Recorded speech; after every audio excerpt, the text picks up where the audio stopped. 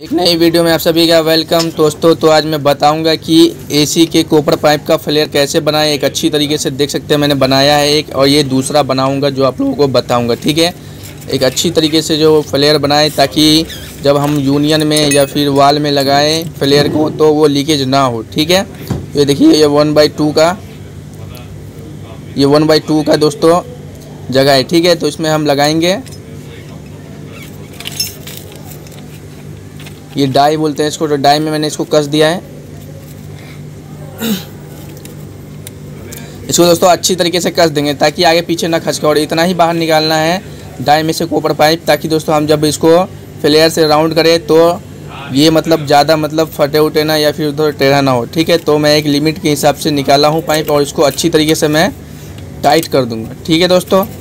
और वीडियो अच्छा तो वीडियो लाइक कर दीजिए दोस्तों और मेरे यूट्यूब चैनल को सब्सक्राइब कर दोस्तों। सब्सक्राइब करोगे तो मुझे कॉन्फिडेंट आएगा और भी अच्छी अच्छी वीडियो लाऊँगा तो सब्सक्राइब कर लीजिए। उम्मीद करता हूँ सब्सक्राइब कर दिया होगा। और कोई दिक्कत परेशानी है तो कमेंट मारिए मैं उसमें रिप्लाई दूँगा आप सभी की हेल्प करूँगा। और नीचे करना।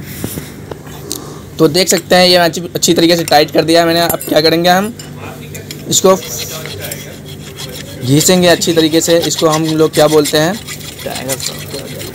फ़ाइल बोलते हैं। पता नहीं आप लोग क्या बोलते हैं, पर हम फ़ाइल बोलते हैं। फ़ाइल से अच्छी तरीके से घीसेंगे इसको। और दोस्तों, जो भी खुरदुरा रहेगा, वो बराबर हो जाएगा।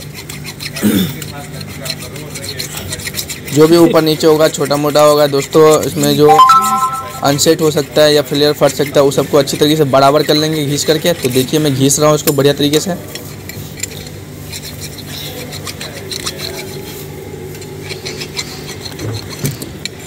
तो ये लगभग घिसा चुका है। अच्छी तरीके से मैंने घिस दिया इसको।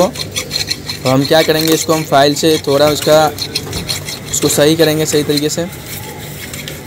तो देखिए फ़ाइल से घिस दिया मैंने।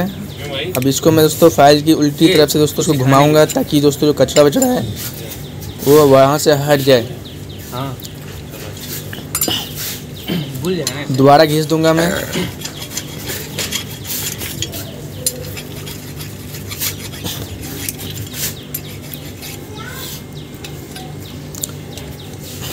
आप चाहे तो नोक प्लस से भी कर सकते हैं।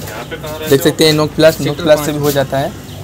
इसको छुड़ाने से क्या होगा दोस्तों? जब हम इसको डाई फ्लेयर से अगर राउंड करेंगे इसको गोल बनाएँगे तो क्या होगा? वो फटेगा नहीं एक बेहतरीन फ्लेयर बनेगा। देखिए और कचरा निकाल देता हूँ इसमें दोस्तों। जितना भी मैं घीसा हूँ पाइप के अंदर चला गया होगा तो इसको फूक के निकाल देता हूँ। नहीं तो क्या होगा कि इसी के अंदर जाएगा तो कैपलरी को ब्लॉक कर सकता है। ठीक है दोस्तों?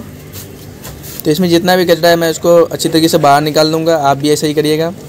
बहुत ईजी है फ्लेयर बनाना।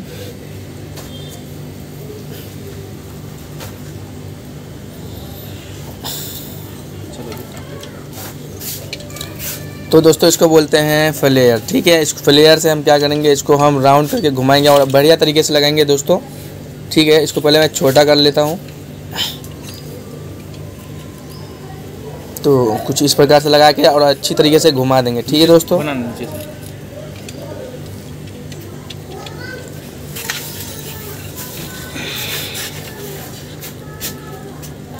तो देखिए कुछ इस प्रकार से घूमेगा और बढ़िया तरीके से घुमाना है और एक लिमिट में घुमाना है, इतना ही घुमाना है ताकि जब लगे कि फ्लेयर बन चुका है तो इसको बाहर निकाल लेना। ज़्यादा टाइट करोगे तो दोस्तों दबाव में आके फट जाएगा ऊपर पाइप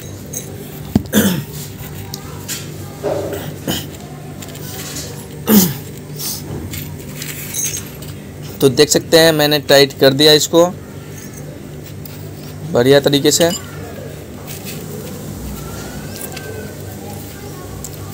बहुत ईजी है दोस्तों। ये देखिए, लगभग बन चुका है ये। अब मैं इसको थोड़ा ठोक दूँगा और उसके बाद निकाल लूँगा। ये हो गया, अब इसको वापस खोलते हैं। चलिए, दिखाते हैं आप सभी को कि ये कैसा बना, ठीक है? तो देखिए, ये लगभग निकल चुका है और देखिए, कितना प्यारा सा बना है। एकदम गोल राउंड, एकदम कंपनी जैसा। ठीक है? तो उम्मीद करता हूँ दोस्तों, वीडियो पसंद आया होगा।